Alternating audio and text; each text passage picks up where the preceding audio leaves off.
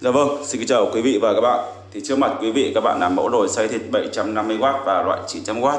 Thì hai mẫu này hiện nay đang được phân phối và bán rất chạy trên thị trường hiện nay. Bởi vì sao? Bởi vì cái tính năng nó nhỏ, nhỏ gọn, à, rất phù hợp các hộ gia đình chúng ta.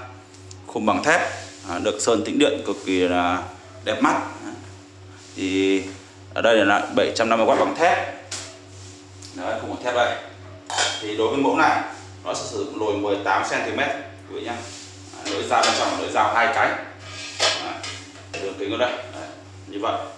Thì đối với cái chiếc máy này nó sẽ xay tối đa lên tới 900 g thịt tôm cua cá rau củ quả. À, tại vì sao? Cái motor rồi nó cực kỳ là khỏe khá là to.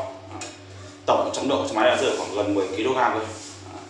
Thì cái motor này được cuốn 100 trăm dây đồng à, sản phẩm được ờ, cuốn 100 trăm dây đồng em đã dán tem mắc đầy đủ. Điện 220V và dưới chiếc motor này nó có chiếc quạt tản nhiệt giúp motor chúng ta hoạt động trong thời gian dài. Và không ô, ok. Đấy, cực kỳ tốt. Cái cơ chế đổ của con máy này cũng cực kỳ đơn giản thôi. Chúng ta chỉ việc uh, ờ, gạt xuống Đấy, đổ xuống. Và lấy sản phẩm ra thôi. Cực kỳ đơn giản.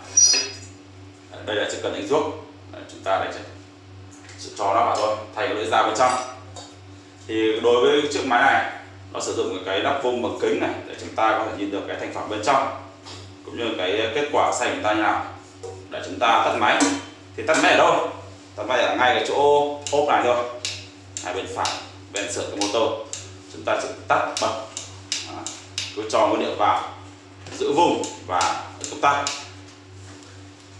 thì khi quý vị mà xay nhiều hơn, thì quý vị hãy sẽ sang cái lồi 7 900W lồi 22 cm này thì cái máy này nó sẽ khác biệt một xíu. Đó là nó sử dụng lưỡi dao bên trong là lưỡi dao ba cánh và cái công suất của nó cũng như cái năng năng suất sẽ xe cao hơn khá là nhiều. Nó xây khoảng à, một tí hai cho tới ký ba thì quý vị nhá. Motor nó thì cũng được cuốn 100 phần trăm dây dưới có chiếc quạt tận nhiệt thôi. Có chế độ cũng không khác gì cả. Chỉ có hơn về công suất cũng như là cái à, năng suất thôi thì khi mua máy của bên em thì bên em có được tặng kèm cho quý vị một một con dao sơ cua để quý vị uh, trong thời gian bị trơ bị mòn thì có thể thay thế được. Thì hiện nay thì em cũng báo giá luôn cho mọi người biết được cái giá cả của ờ, cái chiếc máy này trong cái tháng 4 năm 2021 22 này. Sẽ có giá là 1 triệu 3 và 1 triệu rưỡi.